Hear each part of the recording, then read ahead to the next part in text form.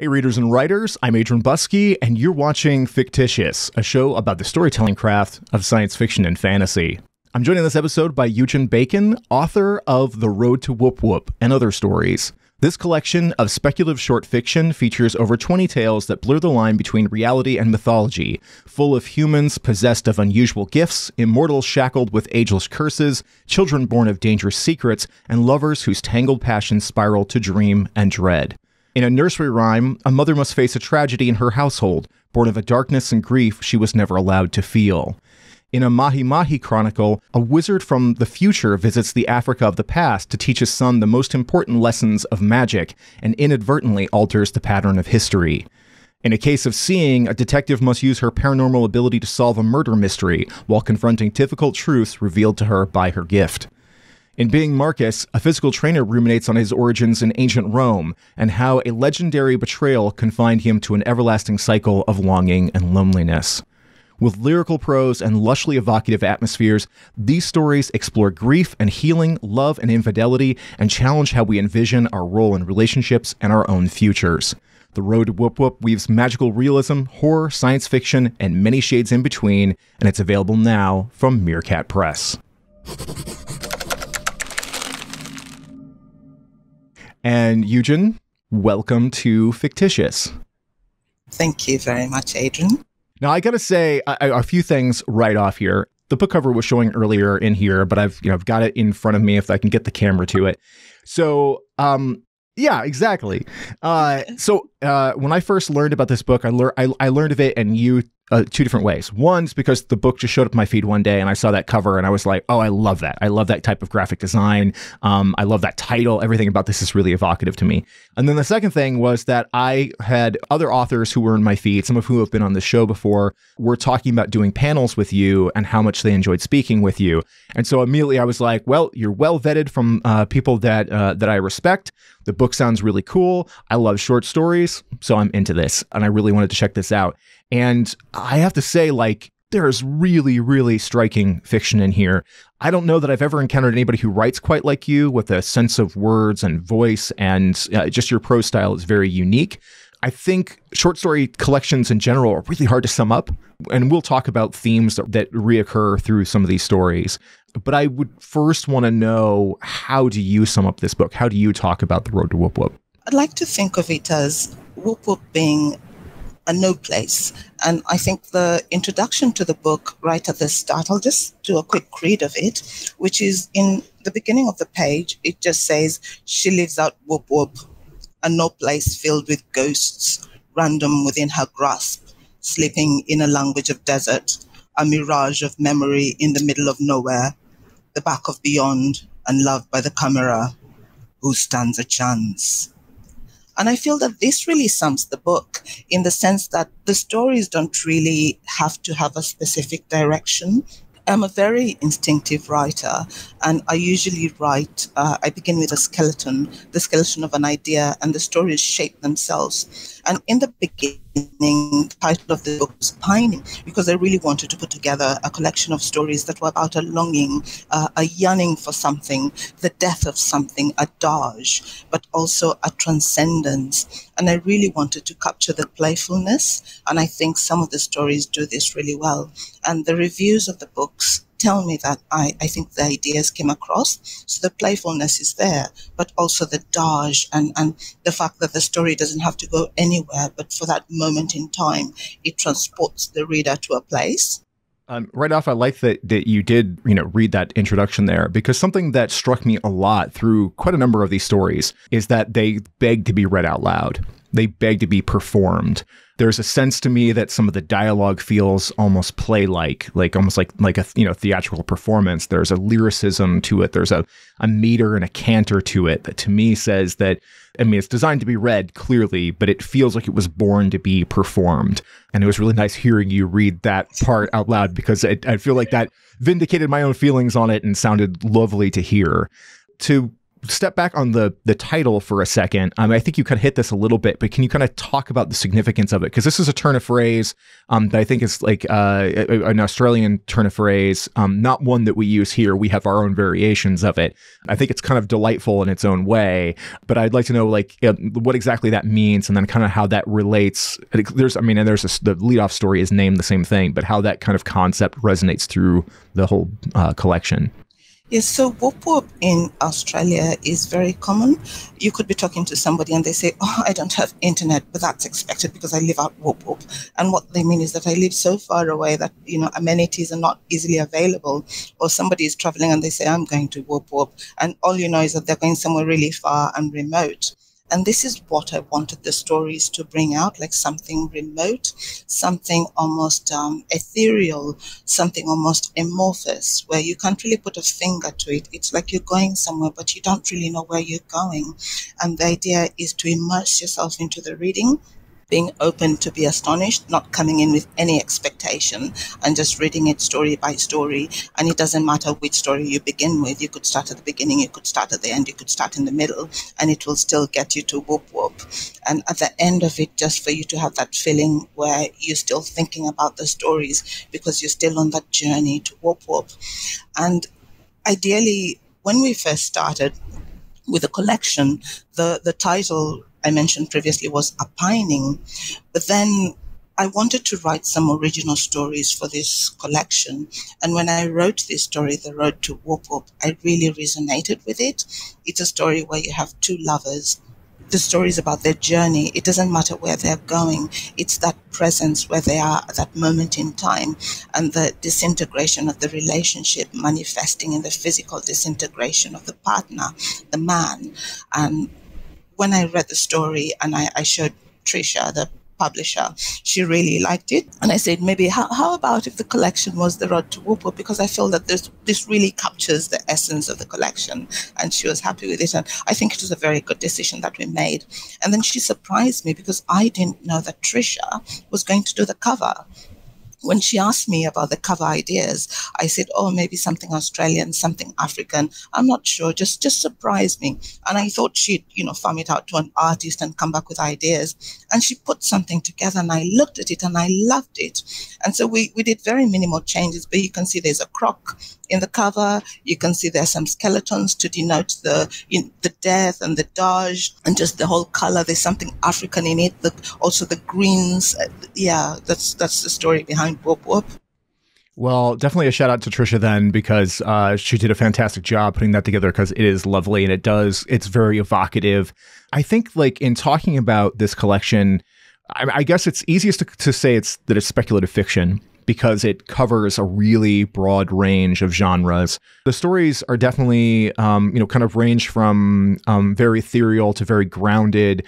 The opening story, The Road to Woop Woop, starts in in a, a sense of, you know, like you said, it's two lovers in a in a vehicle having a terse ride where they're trying to communicate with each other and failing to, and then from there it kind of separates a little bit from a standard reality and gets stranger and weirder and almost I don't want to call it Twilight Zone ish, but it does it like it veers into this sense of is this paranormal? Is this dream? Is this just becoming unhinged from reality in ways that allow you to kind of explore thematic relationship emotional things in a completely different way and i find that really appealing other stories in it i think are are a little bit more grounded or a little bit more traditionally structured things like uh, the mahi mahi chronicle or um, to a certain degree i think like the case of seeing where I mean, the case of seeing feels like a procedural detective story, except for it has a paranormal element, but still has that lyrical sense of of dialogue and and pacing and flow that seems unique to how you write. I, I, mean, I know that you write longer fiction and that you've also done graphic fiction and a number of other different things. What was the draw for you to short story? I mean, you've been talking about kind of that sense of not necessarily having to have a definitive start and end point, but, you know, just telling what the story needs to be. So I'm wondering what, for you, what brought you into the format like that? What brings you back to it? What challenges it presents you? Um, what advantages are there? What, you know, what is it about short story that really, really appeals to you? I think I've always been a short story writer. It's my comfort, it's my sweet spot when I write a short story, I feel quite at home, particularly because it works with my approach to writing. I'm a very, how can I put this? I write on a trigger. I am not a structured writer, especially when I write short stories. It would bore me very quickly if I knew where the story was going. And so normally I would start with an idea. I know that I want to write about a boy in the village and I want to write about uh, a darkness in him, but I don't really know what the darkness is going to do and where it's going to take him. And so I just begin writing straight from my head. And in a way, the stories write themselves because I really immerse myself into it. I, I, get absolutely absorbed into the story. I become the story. I become the character. I laugh. I cry. I, you know, everything about them. And I think this is what happens with the writing. And that's why the stories sort of shape themselves and they warp and they weave and, and it comes out into something that surprises me, astonishes me. And, and that's what I enjoy. I was quite intrigued hearing you say a Mahi Mahi Chronicle because that's almost like a Spanish way of saying it. It's actually a Maji, Maji Chronicle. So Maji in Swahili means water. And the story is about, having read the story, it's about this wizard or magician who gives the African people a potion where they believe that the white man's bullets will turn into water. And that's why it's called the Maji Maji Chronicle. And it's another story that uh, I'm very close to it, mostly because of the themes in it and, and just the learnings that come out of it. I really, really like that one. I thought that one was interesting because there is such a, a, juxtaposition of the darkness of the world that is forming in that one. As this wizard, I, I think his name is Zor. Am I saying it right? Yes. yeah. Um, I mean, his son's name is Pickle, um, which it, which is great. It's it's the thing that's so funny about that because the ramifications of their actions go to some very very dark places, and yet there is a whimsy and fun to the dialogue between father and son. Just the the fact that his kid's name is Pickle, the fact that like they're kind of bickering with each other all the time. I like that feel where you're exploring where a little bit of change of events, a little bit of giving somebody power, and then you know seeing how the thirst for power tends to be never ending. And there's a bit of a twist to that that story too that I, I like a lot it's very fun. It's one of my favorite stories because I, I, think most of my stories actually do have a theme. I hadn't realized what the theme is, but when I look at all the stories, irrespective of what I'm writing about, there's always a relationship component, which means that in this story, it's about the relationship that the magician has with his son and also his relationship with the village and the people that they visit. And all of my stories, I think there's always that, that I think how people relate to each other. And I think it says something about me because I'm a creature who, uh, I have a deep affection for people. I'm very curious about people. I watch people. I see how they interact with each other. When I go to a restaurant, I, I you know, I look at them and wonder, are these lovers? Are these ones fighting? The relationship between the mother and the child. And so that relationship aspect is always there. But what I also like about the short story is that it has a certain self sufficiency. A short story doesn't have to finish. You can leave it in a place that leaves the reader thinking about it. And there's also a lightness to it. And also, you need to have a certain restraint in the writing. People tend to think that a short story is easier to write than a novel, not really, because in the story, you have just very little space with which to build a robust character and not to get carried away with the setting and the scenery, to bring everything very sharply and swiftly, but in a way that moves the reader for that moment in time. Yeah. I like that you address that because that is something I we talk about a lot on this show, which is like world building, which is, you know, setting up the atmosphere, detailing out how a world works. I think with short fiction, one of the appeals to it for me as a reader is that you don't have to be too worried about the rules or how much the sense of things holds together. The concept is first and foremost, and then how that's played out. I think a lot of times the things that work in short stories break if you pull them out into longer pieces because you you know strain the credibility of those ideas. But in the short fiction, they can work because you're in and out of it. I'm curious for you when it comes to setting up these worlds and these spaces. I mean, in approaching some of these, they might feel like our world for a minute, but then over the course of just some dialogue or a little bit of revelation in the story, we'll quickly learn that no, there are you know, basically God's on the earth or the mythology is alive here or this is a science fiction story. And then you have to kind of allow the reader to embrace that sense of the world while the story goes along in a fairly brief uh, format. Uh, so, how do you approach that? How do you make that world building real for the reader in such a short period of time, knowing that uh, you will exit out before it has to over explain itself, but at the same time that it needs to hold together cohesively enough that they have a context for the story that they're experiencing? Yeah, that's a really good question. It comes down to one, the fact that immersive experience that I talked about, I, I, feel things very deeply and it makes it easy to write a story, especially when I feel it. And so I find sometimes commission stories are very difficult because the idea doesn't hit me immediately. I don't feel it. And sometimes I have to let it linger for a while until it starts pulling at me, pushing at me, and I, I really feel that it wants to come out and it wants to write itself. And I do research, like research is really important. When I did the PhD in writing, it taught me how to do research. And what it means is that the concept is clear in your mind, but you don't have to write it all. The research is really for you because it guides some of the directions of the characters and it guides some of the events and it guides the setting. Google is my friend. You can find out so much from Google. Like when you Google a disease, you Google a planet. So I know as part of the skeleton, when I know that I'm going to write a story, I know that maybe I want to interrogate a disease. And so maybe I do research about AIDS, or I want to inter- interrogate a planet or a galaxy. And so I know at the back of my mind, I know what are the things within that planet or within that galaxy what my curiosity is.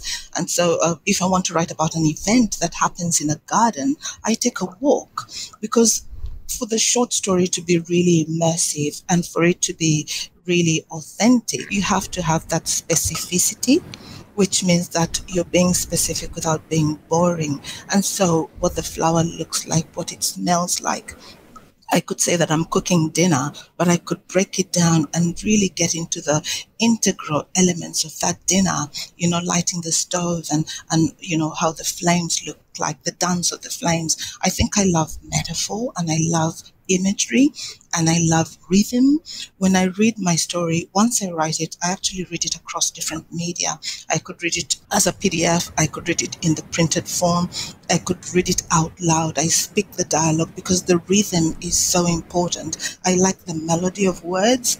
I explore. I'm curious about things, and, and that's what comes into the story. So, because I'm immersed into the story, first and foremost, I am the writer, but I'm also the story's first reader. And so it reaches a point where I know this is where I need to pull out and this is where things need to, to tie each other, you know, properly. But also, I never quite know when a story is finished because sometimes it keeps coming at me. I think it's finished and I've put the end and I put it away and I wake up, you know, at, at midnight with an idea. And so it's also about layering once I write the first draft and I'm happy with it, and then I begin layering it with ideas that keep jumping at me until it stops. So I sort of know a story is finished when my head is calm, I'm at peace. The ideas stop jumping at me then.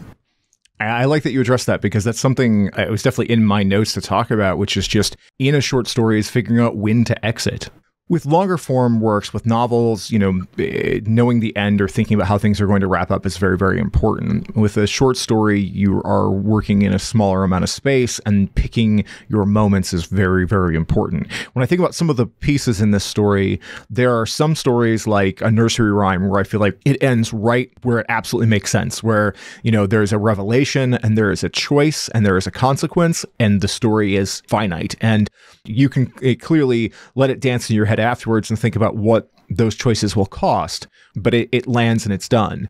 Versus for me like the story the one who sees which is about a young boy who um, is going to boarding school and is dealing with this sort of transition from living kind of out in a small like village community to being in a city to prepping for this different world. And he has this uh, sort of like animal spirit nature that he recognizes in other people. He has this friend who is completely alien to the civilized world and is magical in kind of her own way that story, I could have read an entire novel of that story. I loved the characters in it. I really, really enjoyed it. And so when it was done, I had that moment of being like, I get where why this ends here, but I didn't want it to end, and so I was almost a little frustrated. But at the same time, I understood, you know, how that worked. So uh, in in a story like that, or for instance, a case of seeing where you could have gone several steps further um, to a resolution of that story in a more traditional format in the way that you would think about like whether like a procedural or something but you don't. The solving of the of the mystery is not as central as the solving of the character's own understanding of self and and her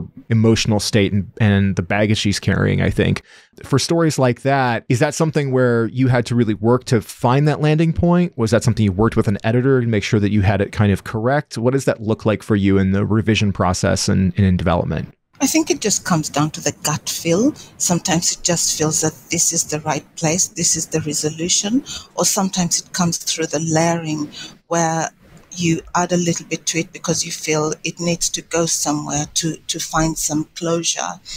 If I were to write a bigger story out of one of my short stories. A Case of Seeing is actually one that I would expand into a, a bigger story because I really love the detective. I connected very much with her and I, I could feel her.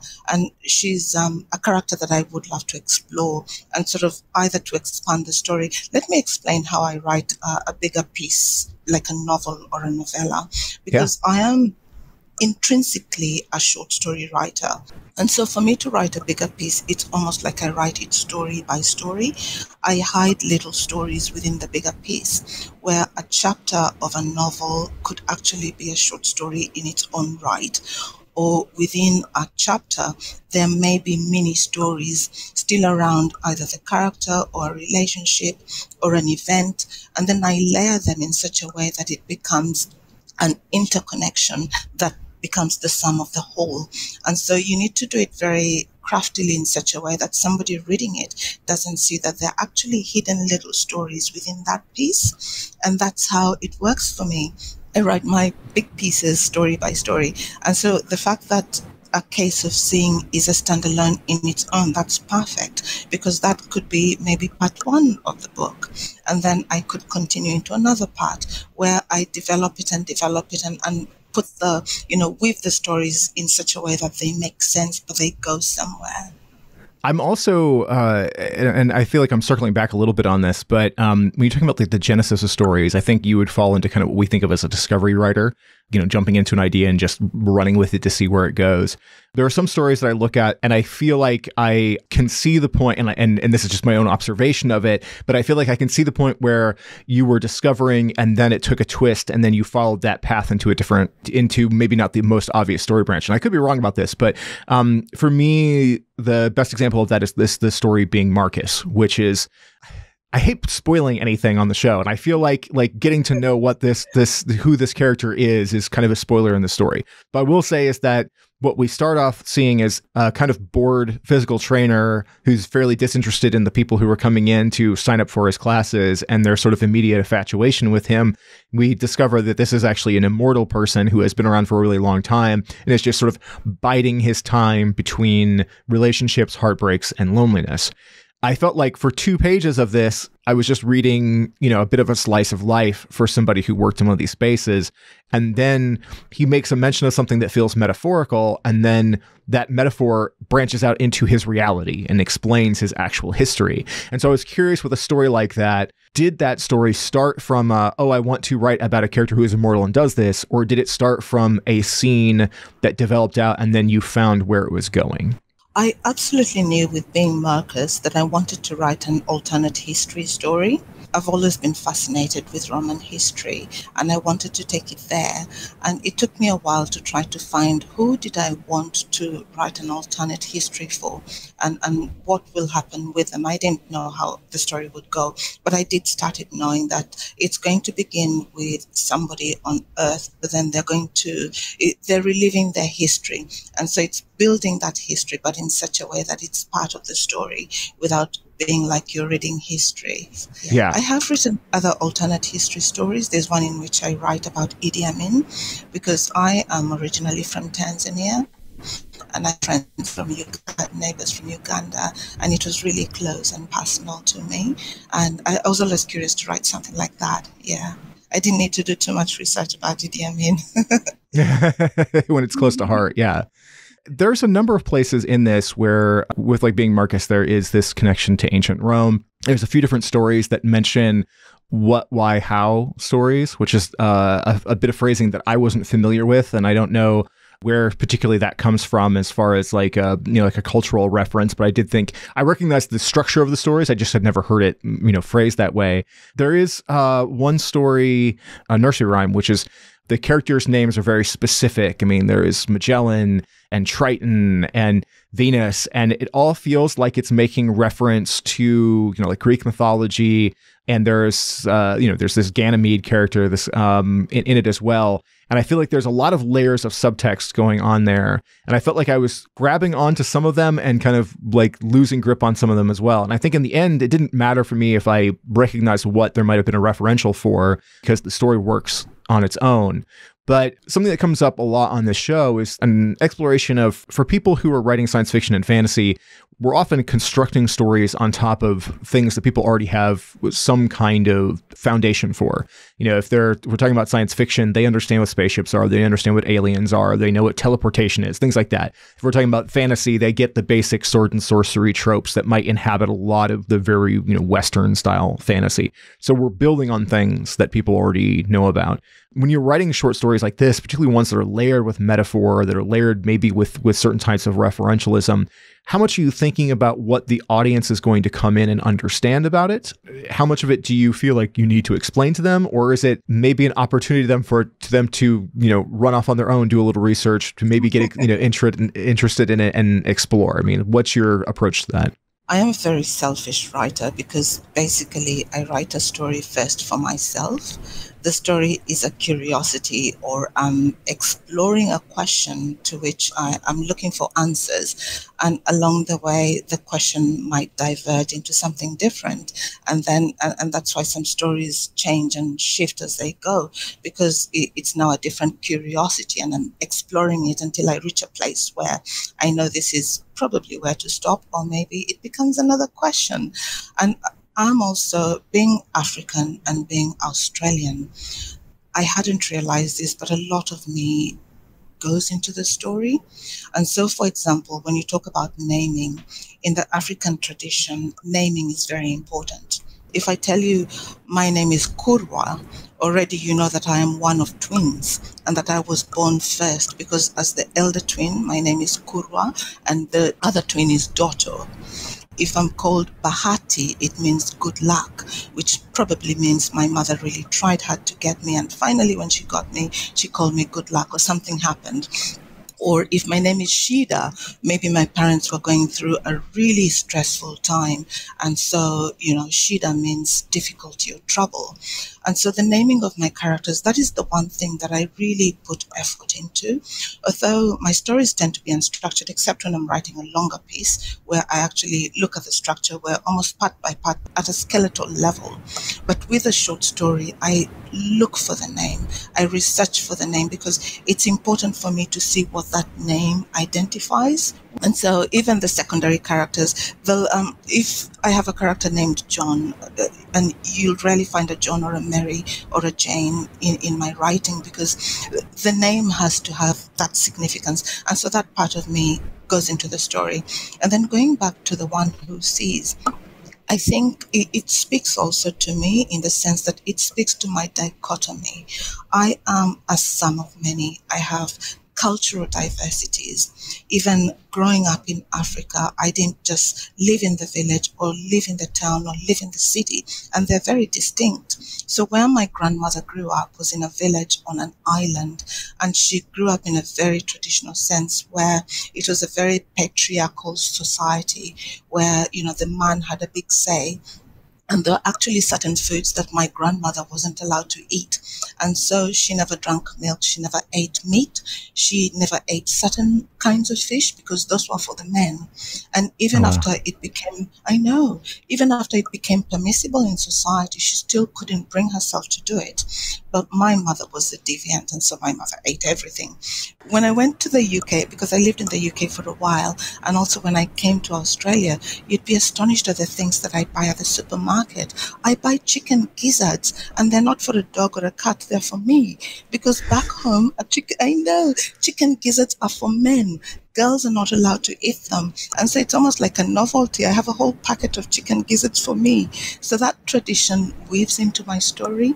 And so in the one one who sees, you can see the experience of the boy in the village and his experience in the town and his experience in the city and the questions that he's asking. The, he's navigating his relationship with Keledi in the village and his grandmother. He has that curiosity and also you know how he experiences the city and how he sees the relationship between his parents. And so the relationship comes in. So I, I, I, do steal myself and my friends and other people into my stories. But there'll always be a disclaimer that it's a work of fiction. Yeah. I, I really uh, I related to the one who sees in a lot of ways because I, I tend to relate to stories of disconnection. Having been a kid who felt out of place a lot of times who got brought from one side of the country to another to a very different you know environment and then trying to figure out how to fit in and never feeling like i fit in in a lot of ways. And this brings up another thing i wanted to address about like point of view. A number of your stories in here use a second person where they they're referencing the basically the narrator is speaking to the reader as if they are the character in the story. I think uh, the one who sees is one of those stories where it's basically referencing you as the boy in it, which makes you almost like an avatar for the the character in a lot of ways, and that spoke to me in a lot of ways in that story. That's not the type of POV we would encounter very much in longer form works. I think it would be really hard to make it work long form uh, works very well in, in short story, but it can also, I think, be startling to readers who are unused to encountering that. There's also first person. There's also you know third person, omniscient and and limited and things, in, in all these different stories. There's a lot of different kinds of perspectives. But in particular, that second person, what was the draw for that for you, and how difficult is it to get that right so that that speaks correctly to the reader, whether you as the first reader or the ones who come later? I find myself very comfortable with the second person. I, I, love the first person and the third person as well. And sometimes it's really just about the feel. And the one who sees when I originally wrote it, it was in third person. And then I, I wanted it to be different. I just wanted something to make it unique in a way. And I know it's always a risk because not many readers love you stories. They're very direct addressing them and they can make them very uncomfortable. And some editors don't like you stories either. But when I wrote it in third person, it just felt like it, it needed something more. And for me, that was changing the perspective, putting into a you story and I have written quite a number of you stories. I have a collection coming out in November, which hasn't been announced yet, so I'll try not to say too much about it. But it does have you stories in it, and they work really well. And so far, the people who, who've read it have been able to find immersion into it. And I, I, I can't explain why it works, and I don't have to go through it like um, change it too much. I, there are stories where I've actually started the writing as a you story without having to change the tense. Then, with the first person perspective, it depends on the topic. For example, you have some taboo topics like rape or something like that. And when you write it in the first person, it can be very confronting. Or if you're writing a murder, say from the perspective of the murderer or the perspective of the victim, you really have to wait and see how what perspective might work better for this story. And that's i think that's how i wait. I, I, take a lot of risks in my writing. And with speculative fiction you can get away with a lot of things.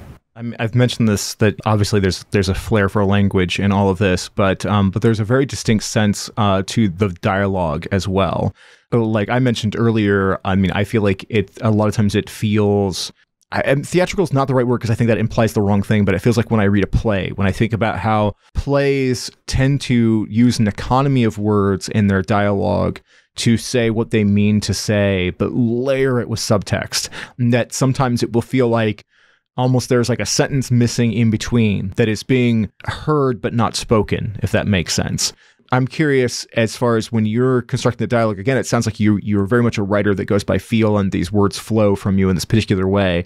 how much work is it to get that dialogue correct? Is there places where like uh, from editorial or, or or beta readers or things like that where they're like you know i'm i'm connecting to this but maybe i'm not hearing this right or am i missing something here obviously a lot of these stories benefit from the from second and third readings um, because there is a lot of layers but you know what is that approach for dialogue for you in getting that to sound right on the page the dialogue is really important. I, I teach writing, and one of the things that I really emphasize is the dialogue because your dialogue needs to be authentic.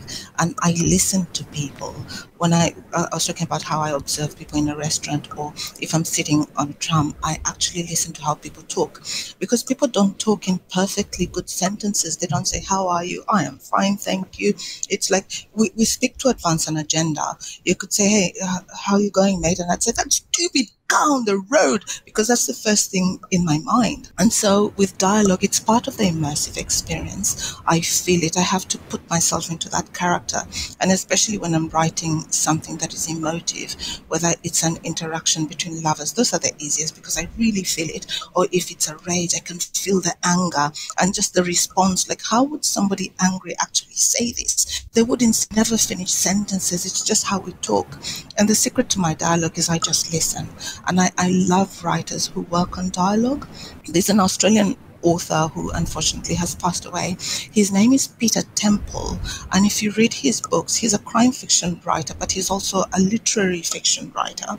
And his dialogue is sharp as a knife. It takes you places. You read it and you're mesmerized. And I think that's what I try to do with my writing. I try to mesmerize myself. I've never read a story that I've written and, and felt bored with it because it puts me right back to that feeling that I had when I was writing it that rage or that affection or that deep sadness or that torment. And uh, I, I get very immersed, and I think that helps in my dialogue. But the editorial process also helps because somebody might say, maybe this sounds better this way, and they make they might flip something or they might say uh, maybe um, let's crop this or let's say it in a way that your audience will understand because it's clear in your head but let's try to, to say differently. So that helps too I, I editors mean a lot to me but you need to have the right editor and i have been fortunate to have editors who understand my writing. I like that you mentioned just that sense that you know people don't speak in you know in, in full sentences. They trail off. They change mid direction I mean, I'm a person who hosts a podcast and a video show, and and that's a thing. Even from an editing perspective, sometimes is trying to connect the dots between uh, you know ideas that trail off, and I do it all the time. It's one of the things that I've recognized over the course of pandemic and being home all the time with my wife is that uh, there's a sh- certain shorthand that I speak in with her where there's a lot of times where there are sentences I don't complete because I just get to the section where I know she knows what I'm talking about, and I'll say, and so, and then I just stop or go on to the next thing. and I'm worried that I'm going to go back out into public and and be unable to finish my thoughts because I've been so used to just talking with her where she knows what I'm talking about. I don't need to belabor the, you know, the concept because, you know, she knows where it's going. But yeah, in naturalistic dialogue and try to capture that, people do speak in in ways that we're not conditioned to being used to if we watch a lot of TV or movies or whatever where the it's a little bit more on the nose or um, you know, less digressions and things like that overall creative process we talked a lot about just like how you get in and do this stuff. I'm curious what your tools of the trade are. What do you what do you write in? I write in anything. I, I write in my head. I, I scribble on my text on my mobile phone. I email things to myself. It's almost like I write across the whole day. I don't really have a routine where I could say I write 500 words a day in the morning, mostly because I write on a trigger. And so uh, you never know when I, an idea is going to hit. And so by my bedside, I have a notepad where if I wake up in the middle of the night with an idea or a dream that I really must write it or I'm not going to sleep, I scribble it. Or I could, you know, jot something on my phone. I also uh, I, I, write very basically. I, I, just have my laptop, and you know, very simple. I, I don't have anything. It, just the laptop and Google in my head, and then I observe. There's so many stories in the world. I could just be watching the news, and this story just hits me. I could be talking to somebody. The every day has so much speculation in it. You could write so much. Yeah. I was going to say, I think when I write, still that African and Australian in me, that blend is there. And it surprises me how much Aussie I am and also how much African I am. Because when I talk to my family, they say I speak Swahili like it's English. And when I talk English, they say you speak English as if it's Swahili. So I'm sort of like an in between. And so some of my thoughts are almost like a direct translation, probably from Swahili to English, but I dream in English and I think in English. It's, um, I, I might say it differently because I taught myself to read English. I also like what you said about the, the fact that the world is teeming with stories if you pay attention. Because if you go to any conference anywhere and do a panel and open up a Q&A, one of the questions I think almost every writer gets eventually is somebody goes, Well, where do you get your ideas?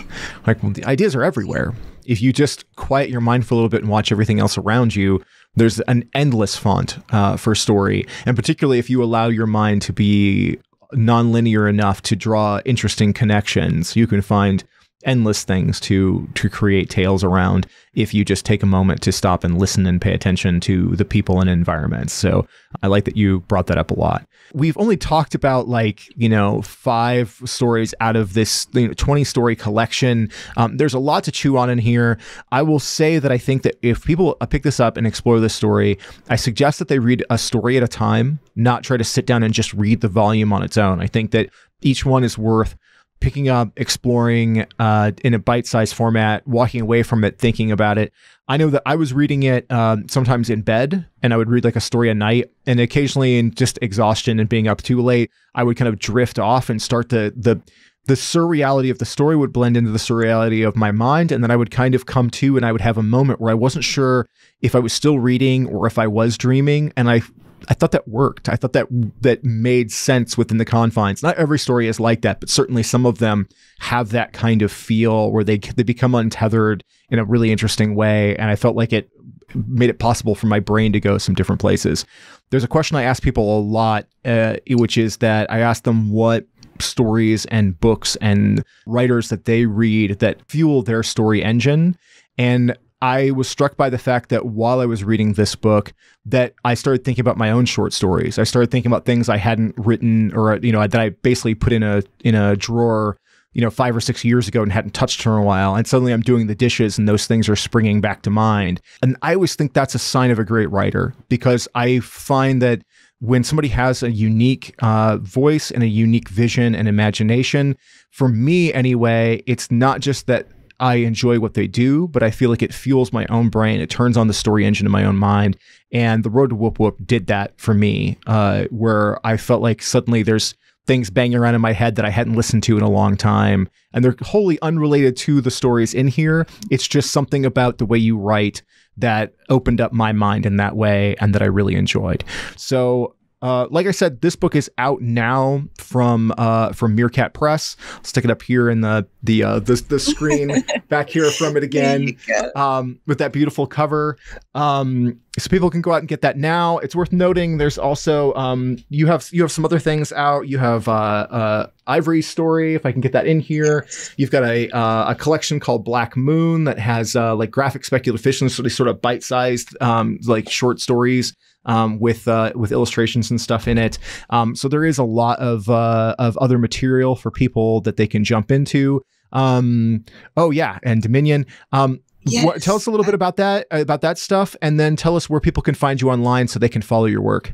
Yes, so Dominion is a really powerful collection of African centric stories. And so, if you haven't read Black Writing and you'd really want to see what it feels like, I'd invite you to read Dominion and just read it with an open mind. Just be open to the experience and to to find it as an immersive experience. London Centric is one in which I have a story, and I was really thrilled to be invited. It's by Newcon Press, and it's really about tales of a future London.